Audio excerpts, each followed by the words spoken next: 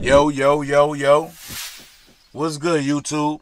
It's your boy EOU, aka the Harlem Legend, man. Let's get right into this one, man. So it's Empire Records. Yeah, we said that right, y'all. Empire Records. Is Empire Records a death label? Hmm. Let's take this back, y'all. It all started with Aaliyah. Yeah, she was signed to Empire Records, y'all. August 25th, 2021. Tragically, this young lady lost her life. Now, she was a talented singer, y'all. She was up next. She was in the groove of things.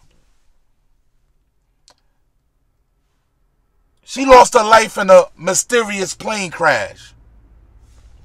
To this day, I'm still stumped. I still don't know, really know what went down.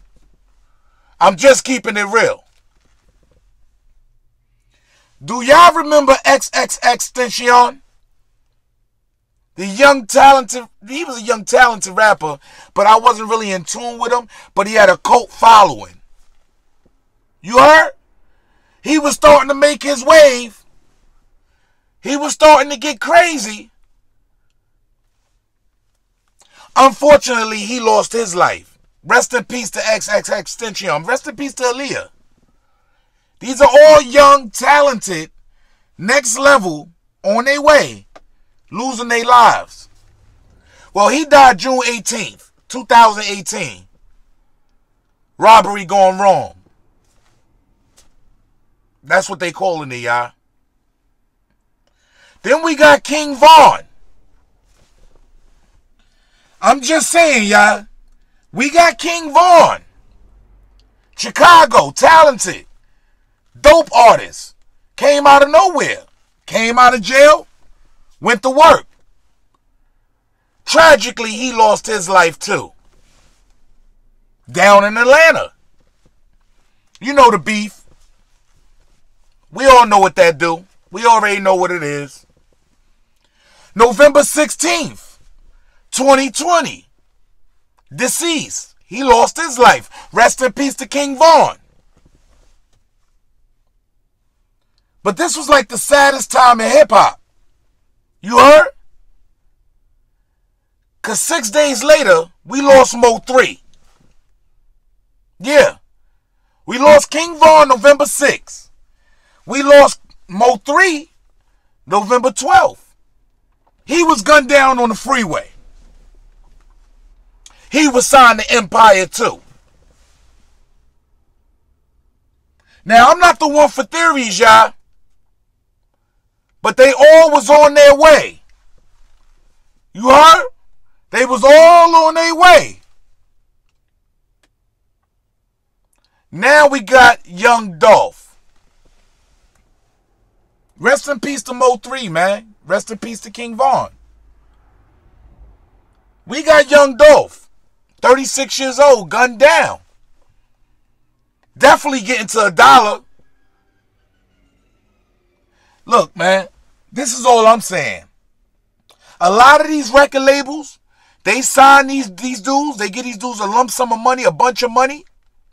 And being that they're independent and they know how to go get it, they end up making more money than the expectations of the labels. You get where I'm going with this shot? They end up making more money and they exceeding expectations of these labels. To the point where they can buy back their masters. They can buy back their publishing.